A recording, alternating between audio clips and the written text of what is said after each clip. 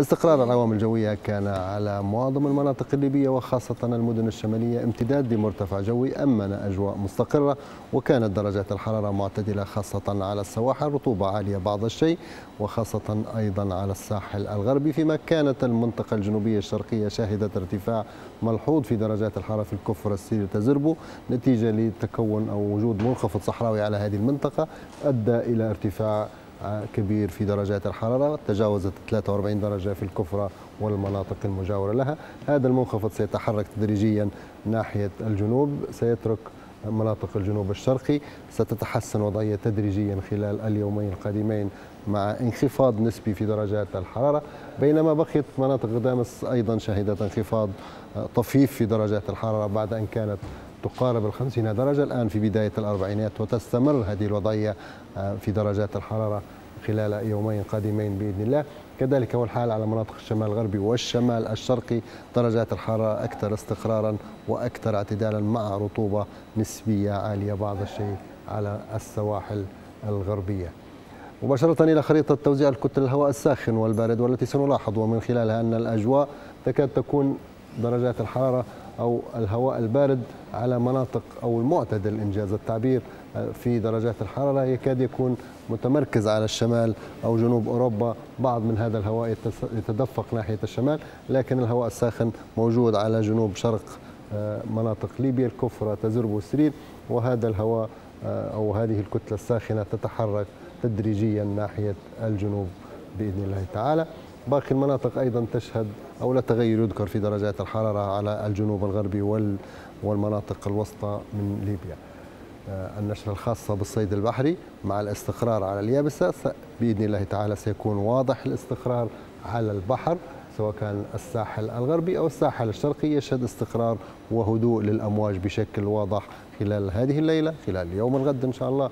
الموج لا يتجاوز ال 75 سنتي على كل السواحل الليبية أو من ربع متر إلى 75 سنتي. هذا على أقصى تقدير. إذا البحر مهيئ للسباحة خلال يوم غد كما هو مهيئ للصيادين للدخول البحر. درجة حرارة البحر دافئة تصل إلى 27 درجة مئوية أو من 25 إلى 27 درجة مئوية. الرؤية جيدة جيدة للإخوة البحارة. خلال الصباح قد تظهر بعض الضباب الخفيف أو شبورة مائية خفيفة. سرعان ما تتلاشى على مناطق الساحلية من الساحل الشرقي. هذا وبإذن الله تعالى. إذا كل العوامل الجوية مستقرة على مناطق ليبيا. لا تغير كبير يذكر في درجات الحرارة. خلال يوم غد ستتراوح الحرارة على المدن الممتدة من راس جدير حتى سرت ما بين 30 إلى 33 درجة مئوية. هذا على الساحل. أما على الدواخل فتتراوح ما بين 33 إلى 37 درجة سواء كان في الجبل الغربي أو في جبل نفوسة أو المناطق المجاورة لها وسهل جفارة وبعض من مناطق الحمادة. ننتقل ونلقي نظرة على أجواء الجنوب الغربي في كل من سبها كذلك وباري وصولا إلى مرزق والقطرون ومرورا بغات والتي تشهد درجات حرارة آه، مستقرة تتراوح من 38 إلى 41 درجة مئوية على هذه المنطقة.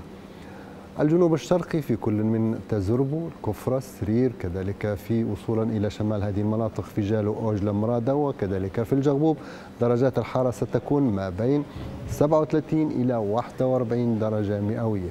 تشهد المنطقة الشمالية الشرقية اعتدالا ودرجات الحرارة لا تتعدى 30 على مدن الجبل الأخضر.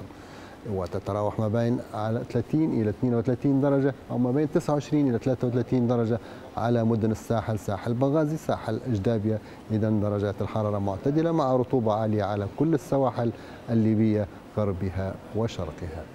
ننتقل إلى المدينة المختارة والتي ستكون وبإذن الله تعالى من الغرب الليبي.